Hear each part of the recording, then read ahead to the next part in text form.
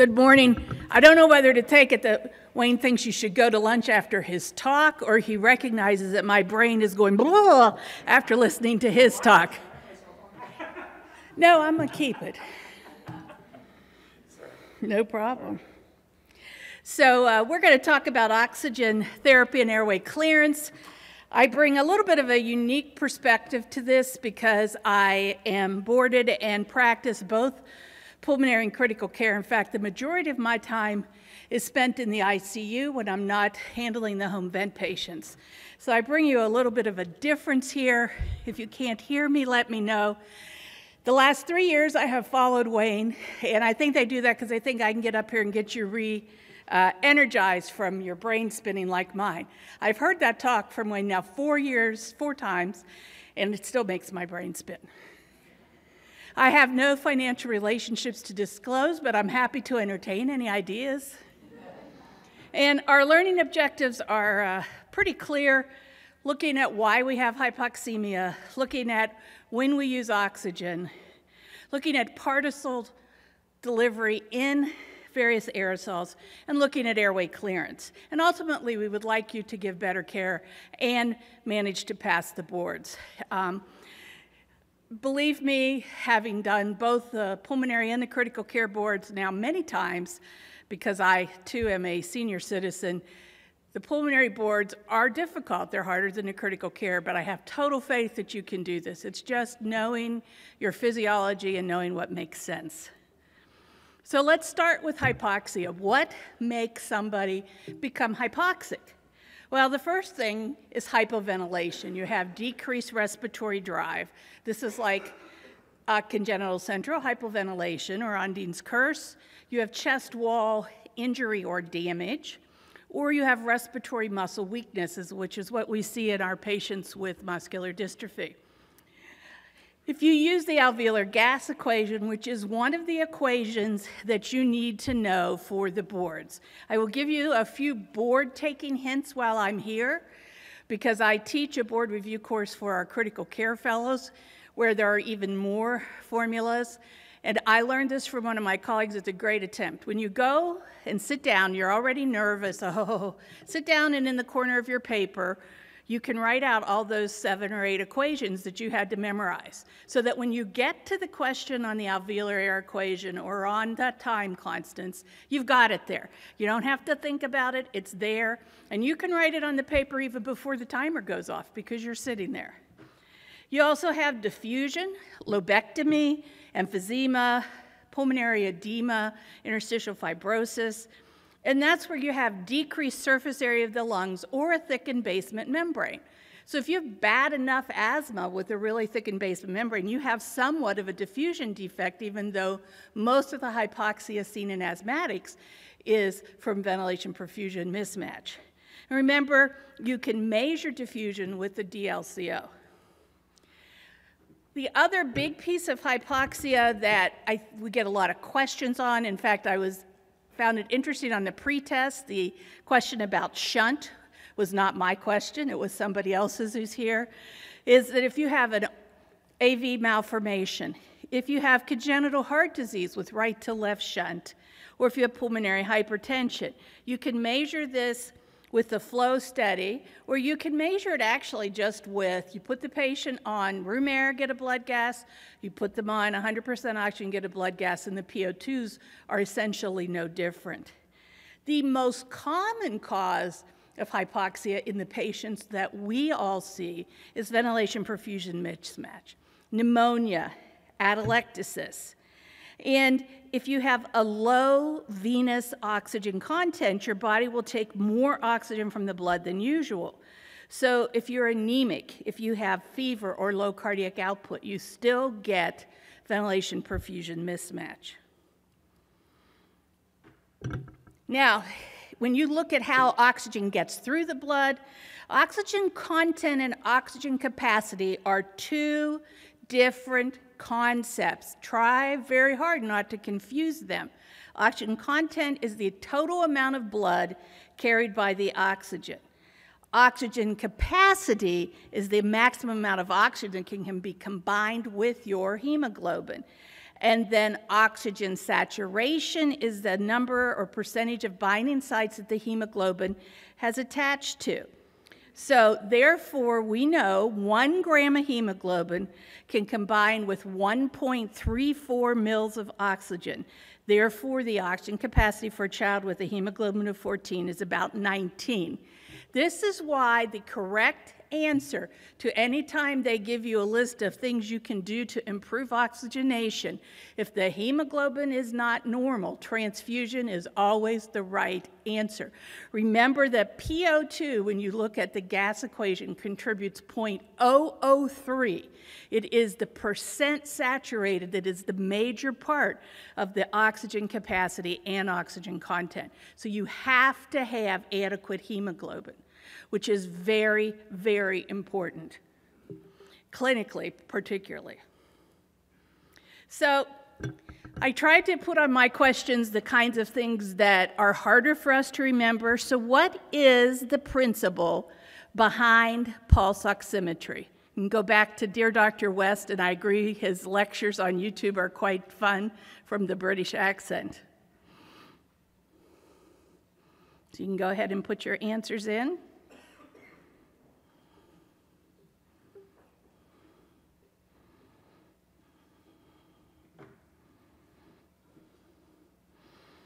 All right, so the vast majority of you got it that it's Beer Lambert law. We're going to talk about Bernoulli's law a little bit later, and Henry's law has to do with gas exchange. So let's look at what happens with pulse oximetry.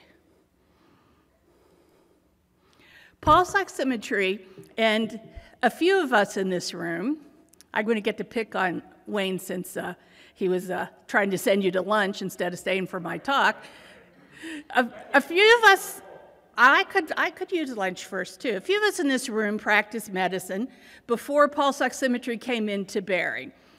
And when we would go around on rounds at night and do arterial blood gases on all the kids on oxygen to see if they could be weaned. Now, the minute you wiped the alcohol across their radial artery, they screamed and their PO2 dropped significantly. So, pulse oximetry to me was one of the great advances in medicine in my career. So what happens with pulse oximetry is you get pulsatile absorption is detected by the sensor as arterial flow. Remember, oxyhemoglobin and reduced hemoglobin have different absorption spectra. Therefore, using the Beer-Lambert law, the concentration of any solute in solution can be measured by its absorption of light. So remember, that's a very straightforward, simple Dr. West physiology. I just got the uh, 2015 updated version. It's still pretty much the same, new questions though. So, why is pulse oximetry not always a good thing? So, in the intensive care unit, particularly, you can be fooled with this. The first one is an abnormal hemoglobin, methemoglobin, carboxyhemoglobin, fetal hemoglobin, sickle cell disease to a lesser degree, will interfere with the absorption. It shifts your oxyhemoglobin dissociation curve to the left, and your saturation will read actually higher than it truly is if you measure a saturation in a blood gas lab. And remember, most of the blood gases you get by point of care are calculated from the PO2, they're not measured. So where does this come into play? Well, let's take carboxyhemoglobin. I received a patient in the intensive care unit who had been in a house fire, bad smoke inhalation, intubated in the field by the paramedics. Her saturation's 100%, but her perfusion is horrible. She looks horrible. She looks blue, but she's covered with black soot.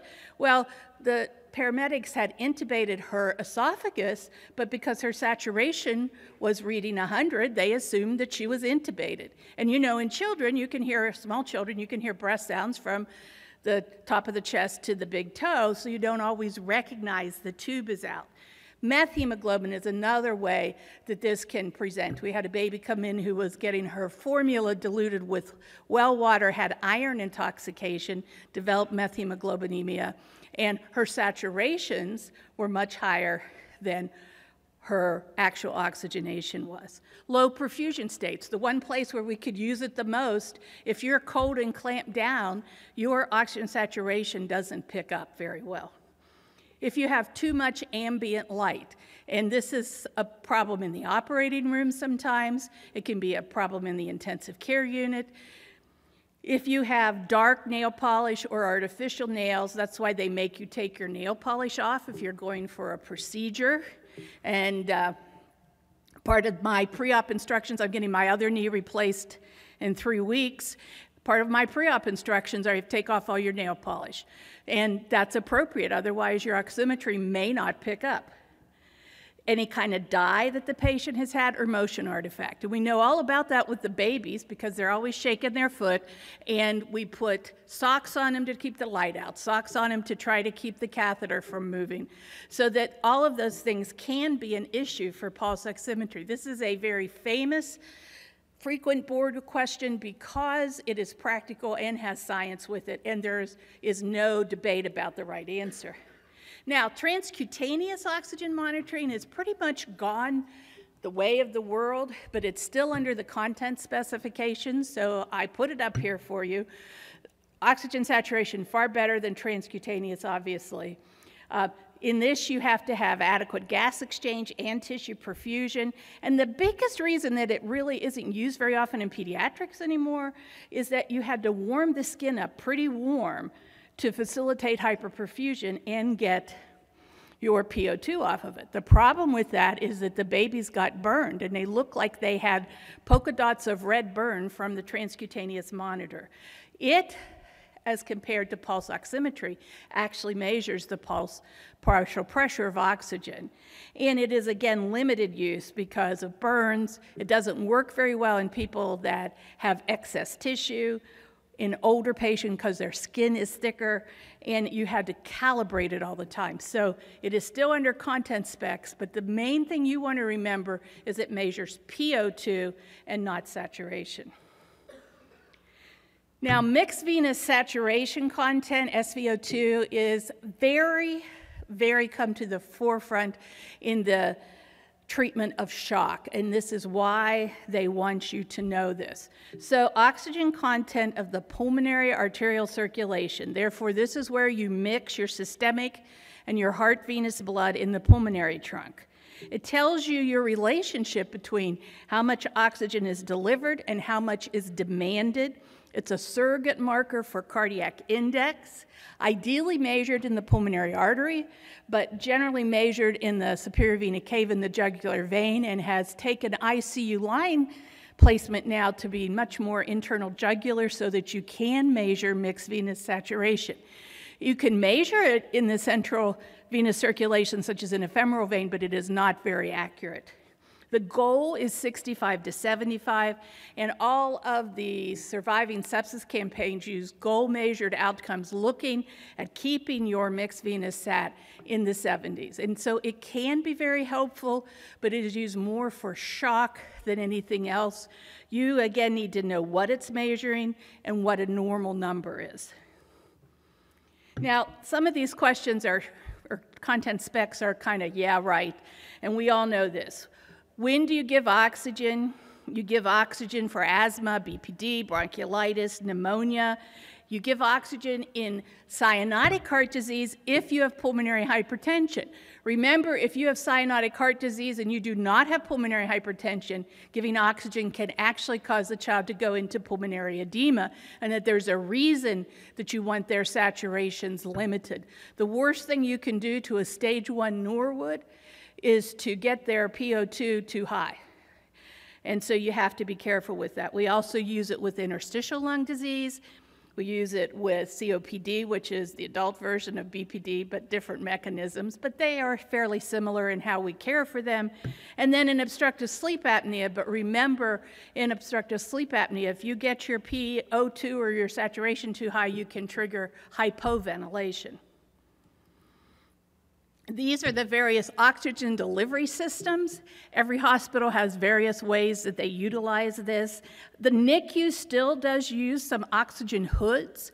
There are very few other places that will use oxygen hoods because it's hard for any child who has any degree of consciousness to put their head in a hood, although I just read an interesting article about a new uh, helmet kind of ventilation in adults where they put something that looks like a space helmet over your head and uh, provide oxygen and pressure that way. It's meant to, to replace like BiPAP, CPAP. It'll be interesting if it comes into fruition using an oxygen tent. We used to use this in croup all the time. You can imagine when you lifted up the corner of the tent to evaluate the patient where the oxygen went.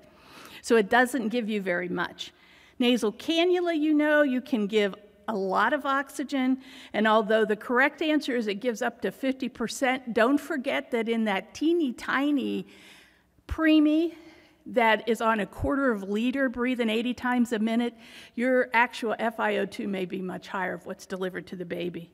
A non-rebreather mask, if you have it tight to the face, you can get close to 100%. And it is really the only way to get close to 100% without intubating a patient.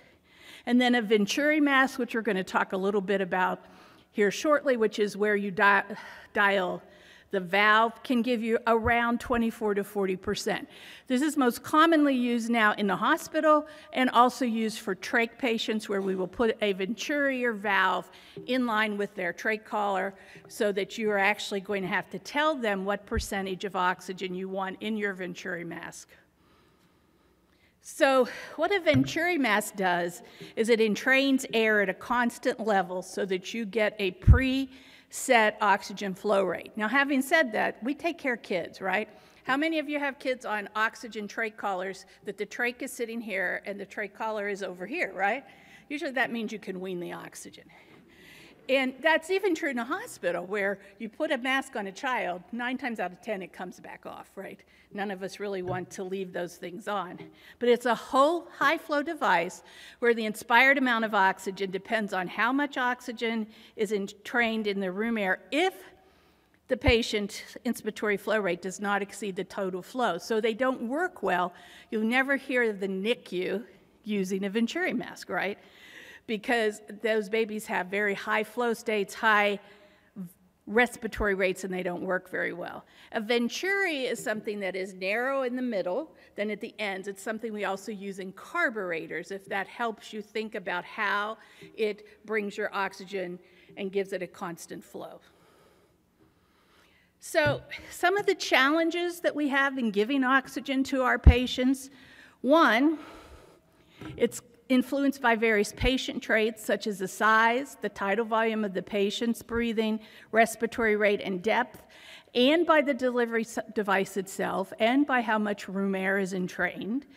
Humidification is essential, essential, but can cause temperature variation in small infants. And if you get the humidifier Fisher-Paykel turned up enough, you can actually induce a low-grade fever in a child, and it's very confusing when that happens. Tape and adhesive break down the skin, cause skin irritation, very similar to what a BiPAP mask can do, and can be a real wound issue for hospitals who are being penalized for things that are considered pressure sores. They can take it out. They can get entangled in the long cord. So you send a child home who is on four, four feet of cord, 20 feet of cord, however you choose to do it.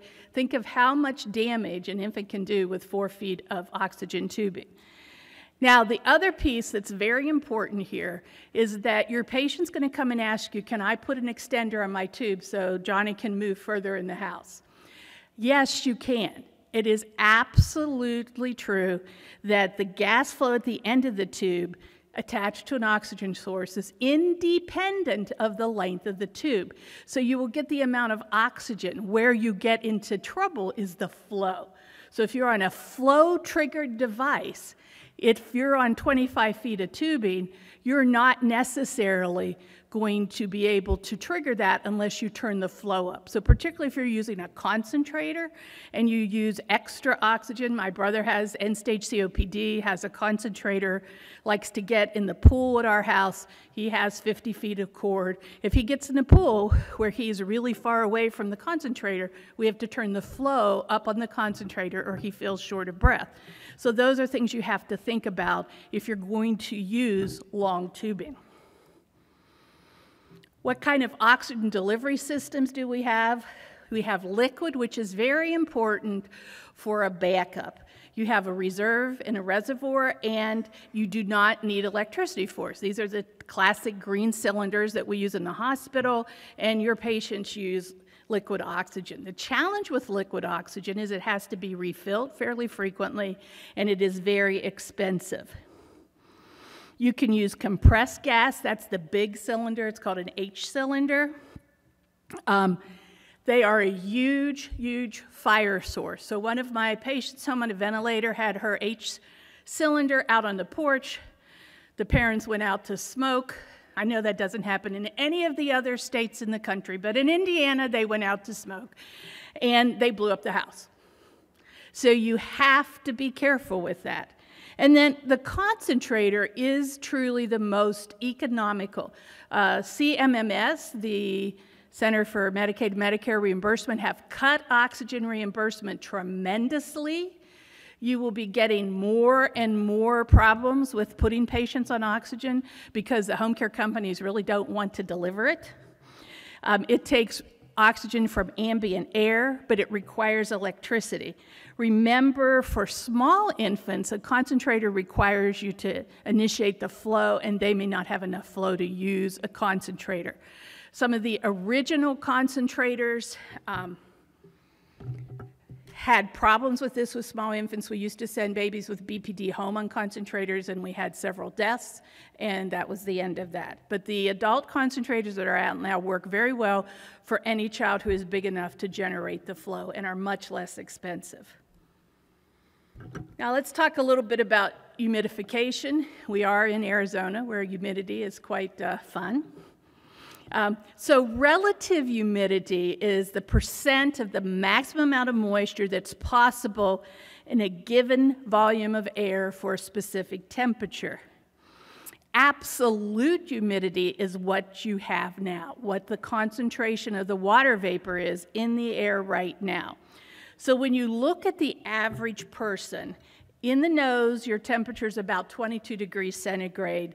The relative humidity is about 50%, and the absolute humidity is about 10 milligrams per liter, not in Arizona.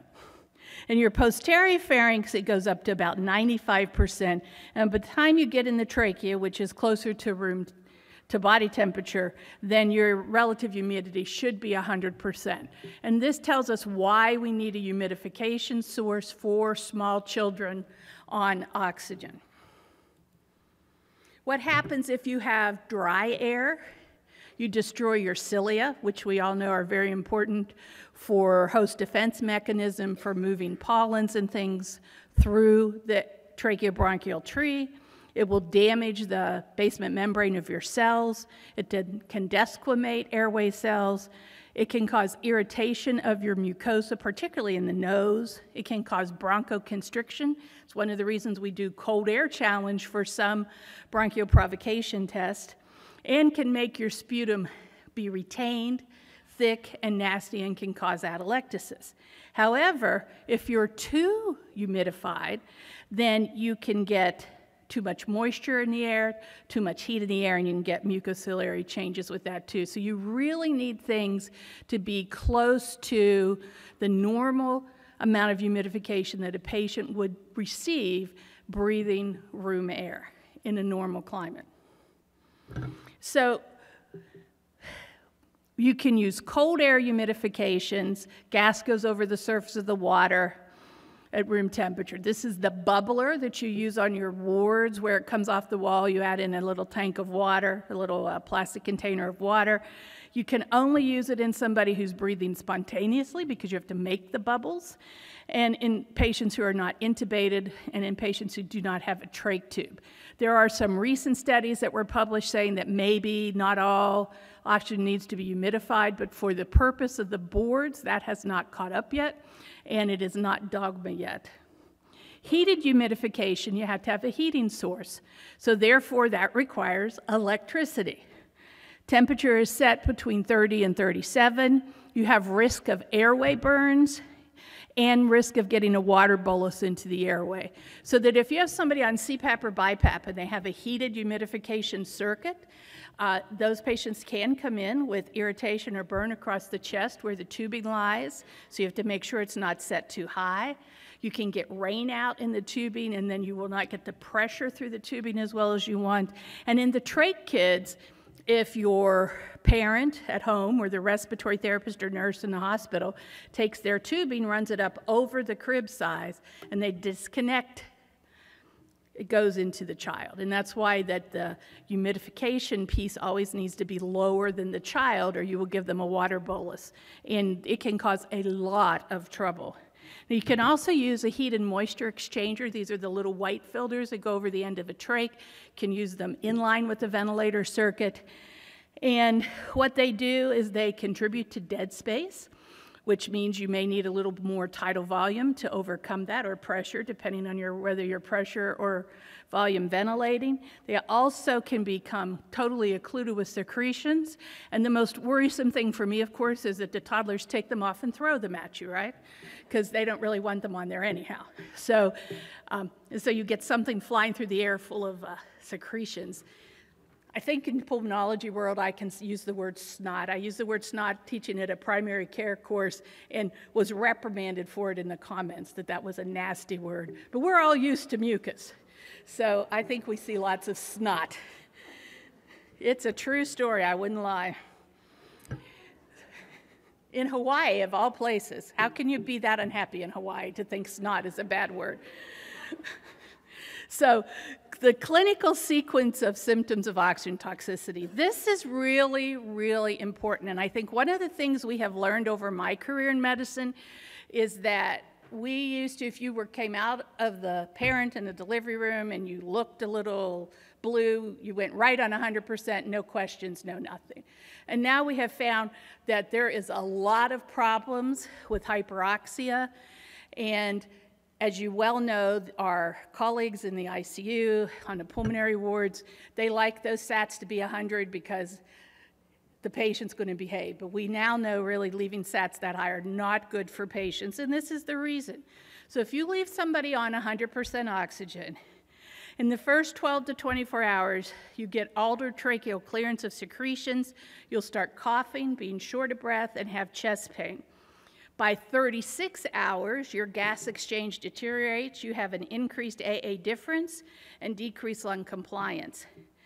By the time we get up to 50 to 60 hours, we have increased epithelial permeability, inactivate surfactant, you get non cardiogenic pulmonary edema, and then you get ARDS. And this is in a healthy person, in this study, animals. And then pulmonary oxygen toxicity relates both to how long and how much.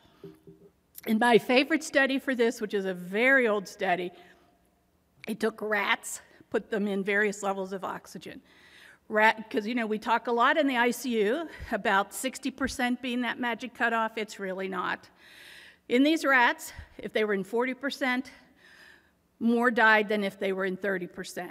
If they were in 30%, more died than if they were in 25%. If they were in room air, more died than if they were in 18% oxygen. So clearly, oxygen can cause toxicity at any amount, and we have to consider that when we have a patient on oxygen who may or may not need it. That has been one of the beauties of pulse oximetry is that we're seeing oxygenation through various states. The blood gases that we used to go through the pulmonary ward and do on evening rounds was a one moment in time. We didn't see them asleep. We didn't see them eating. So pulse oximetry has really revolutionized our ability to monitor oxygenation and decrease exposure by keeping our SATs lower. And so now the goal is really keeping them 88 to 92 versus keeping them 100, which is a big change in clinical practice. Oxygen and atelectasis, you all know this. This is classic pulmonology, that if you breathe 100% oxygen, you wash out the nitric. oxide in the lung and you decrease your vital capacity significantly. So what happens is that you get what's called absorption atelectasis. You again wash out nitrogen, get poorly ventilated units become non-ventilated units. And this relates to the sum of the pressures in the alveoli being greater than the sum in the blood, leading to rapid collapse in the alveoli. So again, 100% oxygen is not our friend and should really be used minimally, only for resuscitation of a non-cardiac child, and then should be turned down immediately. Now, this is pretty, uh, yeah, duh statement. Every set of people that do guidelines have guidelines asthma, bronchiolitis, pneumonia. But notice again that in general, most of these ASATs are 88 to 92. The exception is the neonatal chronic lung disease, where they are still fighting over what is the right amount of oxygen to give a preemie. They still don't know this is the most recent guidelines. Um, it's very interesting. Remember that P small AO2 is related to ROP, and P large A or alveolar O2 is related to lung oxygen toxicity. But I can tell you that in this situation, less is better, and that there is nothing wrong with saturations of 88 to 92, period. And so we all need to be on the same uh, experience with that. Hyperbaric oxygen, which is used very limited today, um, is inhalation of 100% oxygen at pressures greater than atmospheric. So remember Boyle's law, Wayne just went over this with you. Pressure, product of pressure volume is a constant. Henry's law, the amount of gas dissolved in the liquid is proportional to the pressure applied to it. Therefore, during hyperbaric, your body behaves like a liquid and dissolves considerable amount of oxygen. What kind of diseases and how could this help us and how can it hurt us? One, it improves oxygen content and delivery. It can cause vasoconstriction with decreased edema enhances host defense mechanisms, kills anaerobes, gives you bubble reduction in uh, arterial gas embolism and decompression sickness, and it will cause neovascularization and collagen formation post radiation ischemic issues. When do we use it? Air gas embolism, decompression sickness, carbon monoxide poisoning, if you can get them to a center very quickly. Because if you give 100% oxygen in the burn unit for an hour or two, they're out of dangerous levels. If you can't get them moved very quickly, it is not really in your interest. Gas gangrene, and this is quite interesting for patients who have very bad wounds, ischemic grafts, and flaps, they can actually provide hyperbaric oxygen and get some reasonable healing. Use has to be balanced by the risk. Um, remember, the onset of oxygen toxicity is going to be higher because it's proportional to alveolar toxicity, so it's much quicker with hyperbaric oxygen. And then there's a caregiving risk. Any of you ever seen a hyperoxygen chamber? It's kind of like a casket if you have a uniplex, right? You put the patient in there and you can't touch them. There's a dualplex chamber, multiplex, where you can put your caregiver in there. But do I really want my intubated patient in a hyperbaric chamber where I can't get to them if they get into trouble? It's a, it's a great physiologic exercise, but not very practical for most things. There's a lot of, uh, it's kind of the stem cell therapy of yesterday, lots of trials of hyperbaric for neurologic damage for kids with cerebral palsy. Almost all have been scams, but people have paid a lot of money for that in order to see if they, by giving their kids' brains better oxygen, would they get improvement in their cognitive abilities. None of that has paid out. Air travel, most of you air traveled to get here. Your PO2 decreases from greater than 95 to 53 to 75 at a cabin altitude of 8,000 feet in a normal person. If your PO2 is less than 95 at sea level, let's say you're hypoxic to start with, the decrease in your PO2 8,000 feet is on the steeper part of the oxygen hemoglobin dissociation curve, and therefore you will have a far greater fall. So if your PO2 at sea level is 70, you go to 8,000 feet, it goes to 53 with a SAT of 84. Therefore, people with underlying lung disease should be screened prior to flight. These are the British thoracic guidelines. You know, we have guidelines for everything. Pulse oximetry. If your resting sat on room air is greater than 95%, you don't need anything. If it's nine, less than 92%, they have to have oxygen in flight.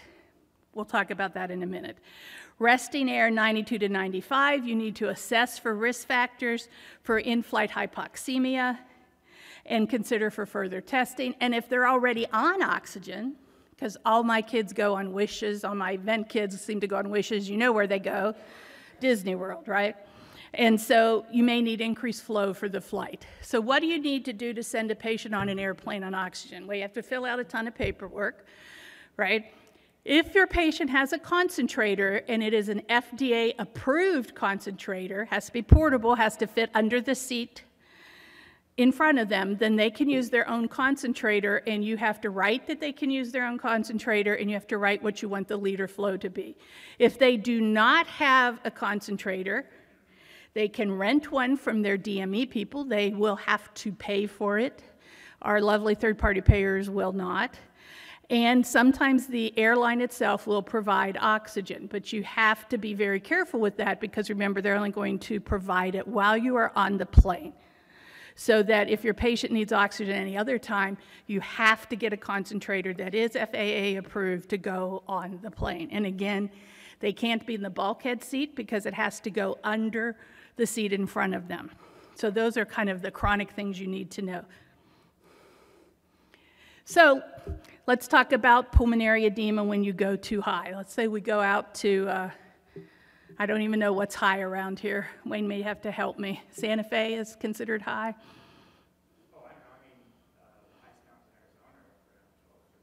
Okay, so let's say you go to one of those mountains. Uh huh. Okay, there you go. We'll go to Flagstaff. So let's say we're in Flagstaff and you get high altitude pulmonary edema. What is your best therapy? Diuretics, steroids, rapid descent, or oxygen?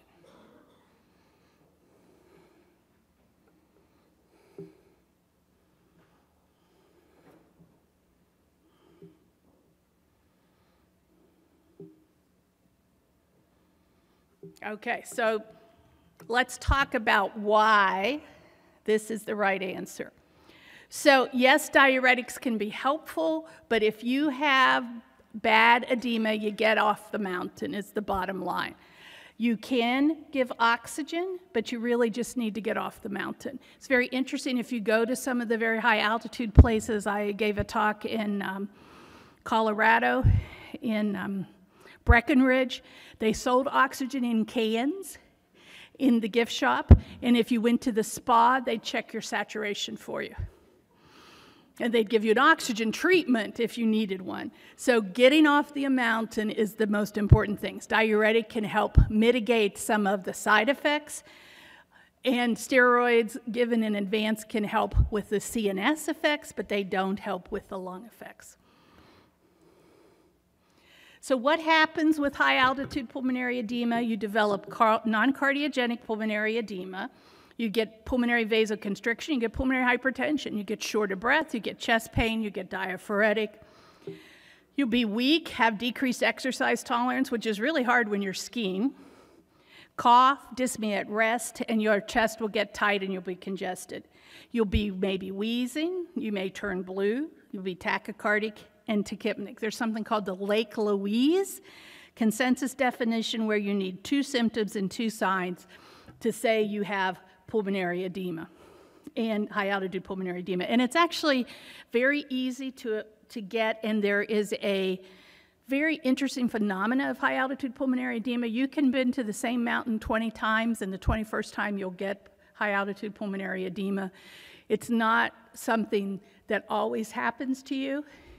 And remember that the people who live up there become somewhat accommodated to it, but even going down a thousand feet can be helpful in how you will feel. Therapy, high altitude pulmonary edema, early recognition of the signs and symptoms, rapid descent to a lower altitude, supplemental oxygen to keep your SATs greater than 90%, cautious use of diuretics, and bed rest.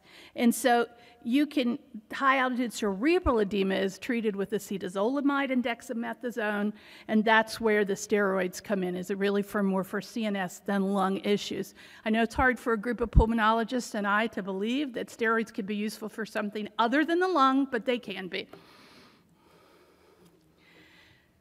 So here's a nice ICU question for you. You are asked to consult on a six month old infant with complex congenital heart disease who's intubated in the PICU for bronchiolitis. He has atelectasis of the entire left lung. Which of the following airway clearance maneuvers is most likely to resolve the atelectasis? Increasing the PEEP, using a cough assist device, adding hypertonic saline, or flexible bronchoscopy with lavage.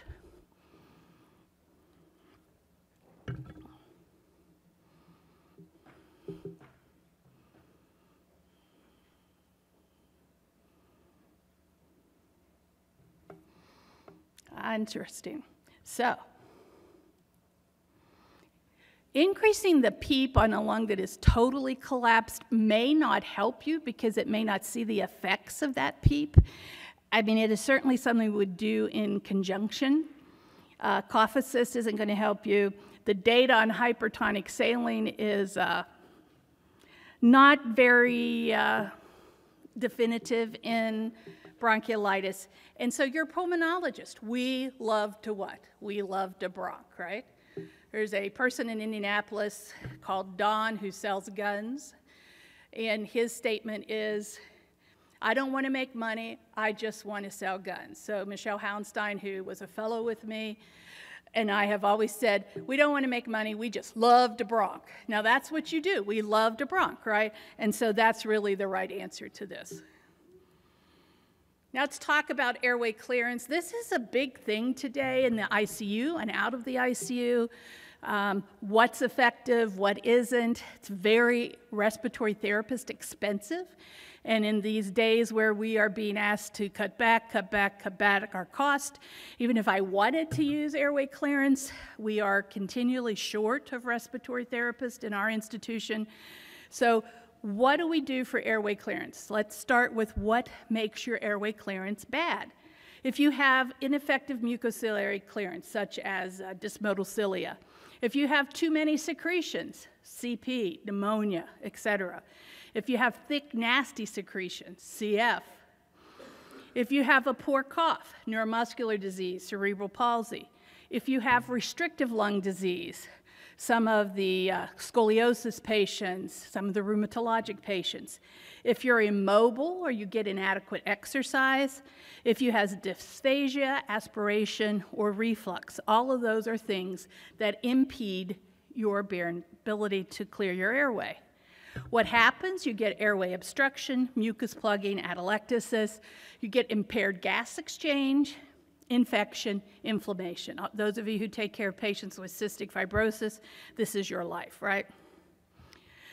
So when you look at the data on airway clearance, it's very interesting in that we really don't have very good data, even in the classic airway clearance disease of cystic fibrosis, that is effective. There was a study published in 1970 ish that looked at the use of percussion and postural drainage versus nothing in seven, seven, count them seven, number needed to treat, no, CF patients. And in that study, they did show that airway clearance improved FEV1. Since that study, every CF airway clearance study has compared the gold standard of percussional and postural drainage to another airway clearance technique. Now, we like to think, and I still do believe, airway clearance in CF makes a difference. This is moderate disease.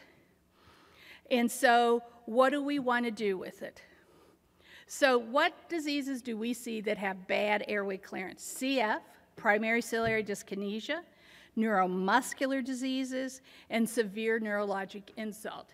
There is no data for proven benefit for using airway clearance in pneumonia, asthma, not complicated by atelectasis or bronchiolitis. Yet many places this is still routine. When I trained, everybody had asthma, everybody had pneumonia, everybody had bronchiolitis, had Q4 treatments, PMPD, whether they need it or not. Not really necessary and may actually make things worse. So here is the lovely mucus plug. You can see I do love to bronch, although actually John Stevens did this one. So what happens when you're doing airway clearance on a child with a mucus plug like that? Where can it go? It can go into the main stem bronchus. It can go into the subglottis. It might come out, but there are challenges to that. And then, does airway clearance help this patient? Have you ever noticed that your CF patients, when they get certain airway clearance, will actually desaturate because you're moving secretions around and cause challenges? Now, I still firmly believe, before I get kicked out of the pulmonary group, that airway clearance is appropriate in CF. The rest of places I'd still debate to me, but I really do believe it helps us go from that moderate, keep going from moderate disease to end stage. What about pneumonia like this? Absolutely no data that having influenza and pneumonia will benefit from physical airway clearance. Now, there is some data to suggest that use of hypertonic agents may help thin these secretions enough that they can be coughed up. And we use a lot of hypertonic saline in the ICU in intubated patients because we've taken away their cough.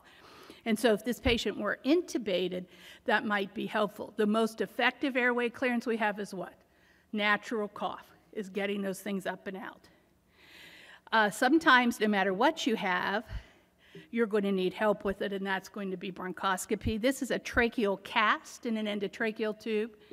And so, if you have something like that, occluding the airway or occluding the tube, this child coughed this tracheal cast up into this tube and then couldn't ventilate because it covers almost everything but the little Murphy port, which is a side port in an ET tube. So if you plug the end, you can still get a little bit of air through.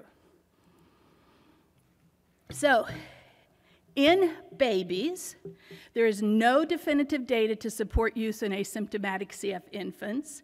This is the most likely age group to have adverse effects, especially reflux and aspiration. How many of you still use airway clearance in your CF infants? So a good number. I retired from CF two years ago, so I don't have any infants anymore, and the guidelines say you don't start it until they're symptomatic. Um, you have to modify your postural drainage to minimize side effects, and the biggest thing here for me, so my political statement, which I'm allowed to have because I'm old, older, almost as old as Wayne, so I can still pick on it. Uh, is that it's a huge time commitment for families. And it's not just a time commitment, it's the guilt. The family comes in, they miss last night's chest physiotherapy session, and they feel bad. The kid gets RSV, and that's why they got RSV. That's not why they got RSV. They got RSV because they were exposed to it, not because they missed a chest physiotherapy session. There are some other interesting devices you can use. Most of these are used in cystic fibrosis and dysmotile cilia. One is the PEP valve. This stands for positive expiratory pressure. It splints your airways open during exhalation. You can use it with aerosolized meds. It's technique dependent, which means you have to be committed and older. It's portable and it requires about 10 to 15 minutes. You can use the flutter, which loosens mucus through expiratory oscillation. Positive pressure splints the airways. You use it independently. It is technique dependent. If you do not hold it at a precise angle, you're not going to get good oscillation. It's portable, doesn't work well at low airflow, so if you have end-stage CF, the flutter is not going to be helpful. Again, about a 10 to 15 time commitment. Acapella is a combined agent of the PEP valve and the uh, flutter. So what you do is it has a valve, magnet device in the center, interrupts expiratory flow, therefore you can use it at any angle, whether you're laying down, sitting up, on your side, watching TV, similar time commitment. What are the contraindications for these types of valves? Pneumothorax, perforated eardrum, hemoptysis, any postoperative lung surgery because you can break down the anastomosis site, bad heart disease, bad varices. So remember, a proportion of your CF patients have esophageal varices, and then pulmonary emboli. And then there's the vest. We all love the vest, right? We use this on the CF patients, we use it on the CP patients, we use it on the developmental delay neurologic patients, we use it on the neuromuscular patients, right? And I'm sure all of you do too. So, what does the vest do? This is a high frequency chest oscillating device, uses pulses of air pressure applied to the chest wall to produce shearing at the air mucus interface. And then compression causes small little peak expiratory flows, expels mucus like a cough. So the chest wall, this is an important part, chest wall is compressed, the air oscillates, okay? So you have no oscillation of the chest wall, it only compresses, and then the air only oscillates, and that helps you move secretions up the tracheobronchial tree. Initiation of vest therapy, well, the first thing is the smallest vest they make is 22 inches. So you have to have a chest circumference of at least 22 inches. The third party payers will not pay for a vest in our area of the country until you are 24 months old. Um, and again, if you're a small 24 month old, you may not even be able to use it. Vest sizes range from small to extra large. It can accommodate a chest circumference up to 67 inches. It's a pretty big chest, men, if you think about the size of jackets that you wear. And insurance approval is tedious and varies dramatically from state to state. Contraindications head and neck injury that's not been stabilized, active pulmonary hemorrhage, or hemodynamic instability, because you can get some alterations on venous return to the heart from the compression. Then there's the cough assist, one of my favorite things actually creates a mechanical cough through the use of high flows at positive and negative pressures. You can use positive negative pressures up to 60. And you set this minus 10 plus 10, minus 20 plus 20. You can use it independently if you are physically able or with caregiver assistance. Technique independent, portable, primarily used in muscular weakness diseases. And then there's EZ-PAP. How many of you use EZ-PAP in your hospital? Okay, so EZ-PAP came into our hospital. No pulmonary doctor, no ICU doctor was consulted. It just appeared one day. Does that surprise any of you? And it is very similar to what the old IPPB did. Its indications, according to the FDA website, are prevention and treatment of atelectasis and lung expansion therapy. There is zero, I repeat, zero peer reviewed data available about it doing anything other than costing money. I have responded to several rapid responses where the respiratory therapist was using EZ-PAP and made the baby apneic. So you really do have to think about these things as you utilize them. But in some patients, it can be helpful. So what do the guidelines say about these types of airway clearance? The, this was done in, by the American College of Chest Physicians, or CHEST, in 2006. They reviewed Medline for a long time. Most studies were done in CF patients, and most had serious method restraints. And they concluded that although some non pharmacologic therapies are effective in increasing sputum production, long term efficacy in improving outcomes with unassisted cough is unknown, and that included in the CF population, and I will just step back there. The last time I gave this talk, I uh, had a lot of criticism. Of course it works, but th there really isn't good data to support it yet.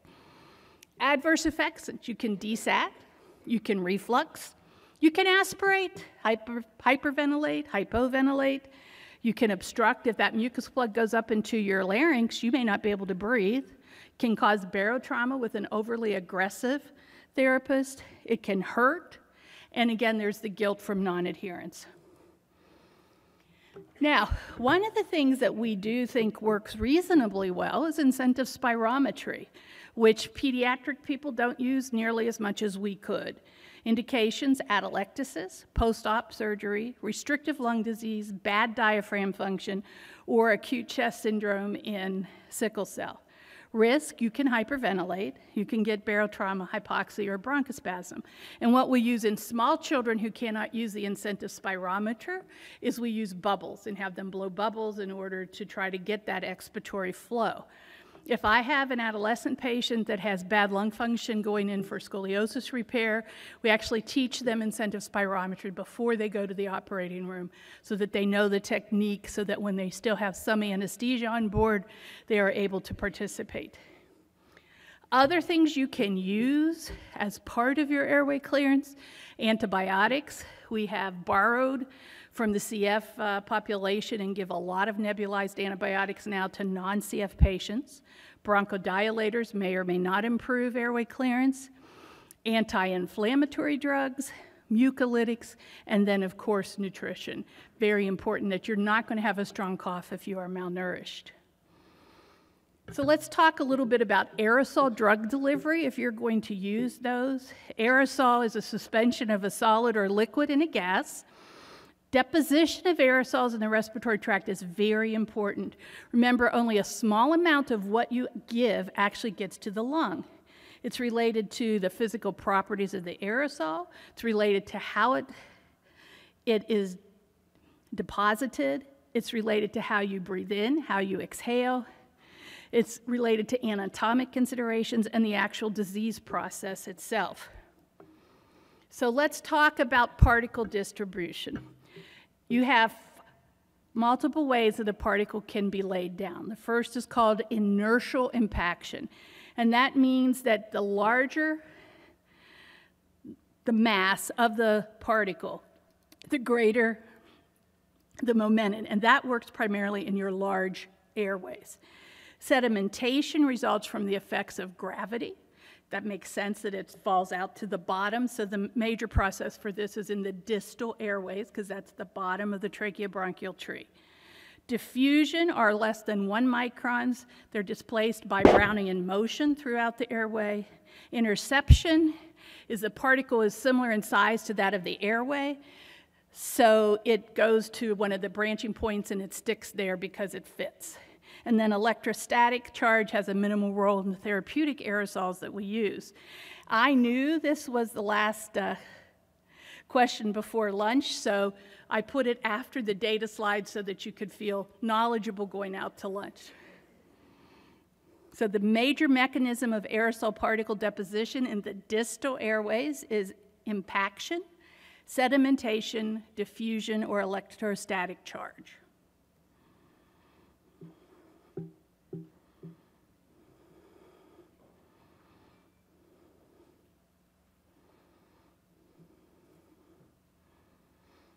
Okay, and see, I, and I even told you in the slide before that it's sedimentation.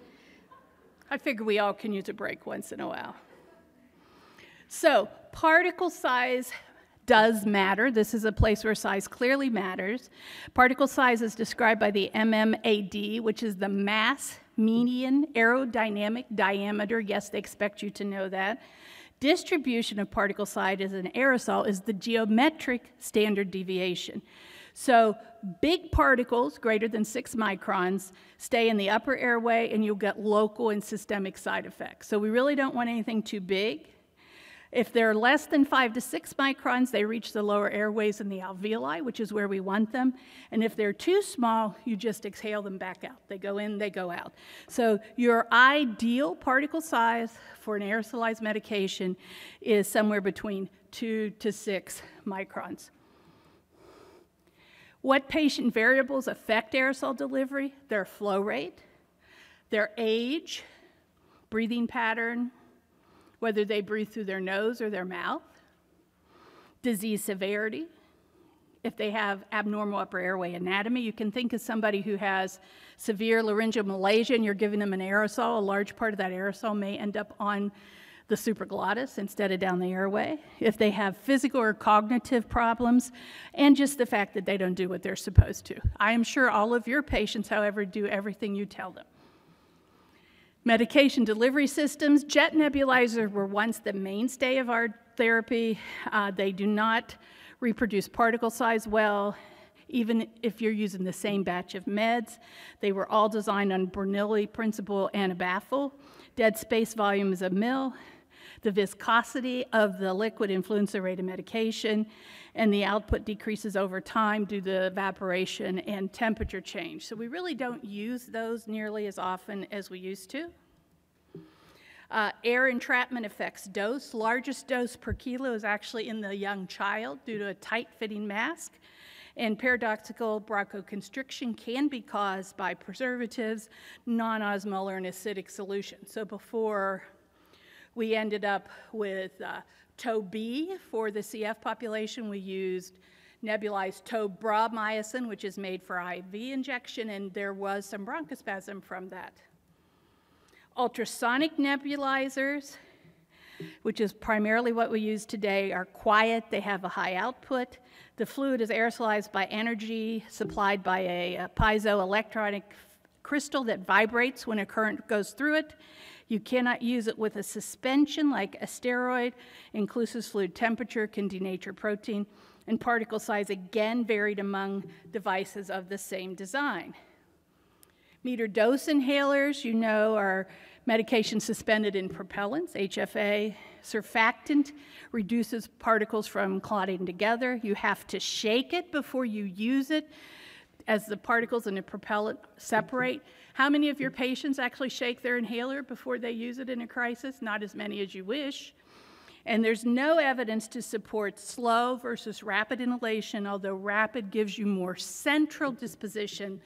But remember that the receptors for your bronchodilator are present in the upper parts of the airway also. Problems with meter dose inhaler 40 to 50% of adults cannot use a meter dose inhaler correctly. Limited range, Propellants can cause problems, and handling. It gets thrown in the glove compartment. What temperature do you think an MDI in a glove compartment here in Arizona at a temperature of 103 today will get? Pretty high. If we go back to Indiana, so when it's minus 10, what temperature do you think that inhaler gets to? It's not minus 10 right now, fortunately. It's actually about as hot as it is here. And so all of those things can impact. How many of you have had patients take an empty container for a long time? Lots of you, right? No dose counter, they don't know it's gone, they just keep taking it. Now, if you use volume holding chambers, that will allow deceleration and some shrinkage of the particles. Remember, that's a one way valve, contains aerosol in the chamber until you open it by inspiratory effort. Both reduce oropharyngeal deposition, so you have less risk of candida, more likelihood to get in the lung, and you don't have to be coordinated. So, for many people, a volume uh, chamber is helpful, but again, it's one more piece of equipment for a child to take with them. And although you may give out a spacer device in your clinic, don't guarantee yourself that they're being used. So things that you want to take home today before lunch, pulse oximetry principle is the Beer-Lambert law. Venturi principle is Bernoulli's law. Airway clearance devices can cause a multitude of adverse reactions, including barotrauma, airway obstruction, aspiration, and reflux, and I think we still need more data to truly prove if they are effective or not. And again, you want to know where your particle sizes of an aerosol distribute. Greater than six microns in the upper airway, less than five microns down to two, lower airway and alveoli. Less than one micron, they are exhaled in a healthy individual. In a sick individual, they may actually stay in the lung. Thank you very much, and uh, good luck.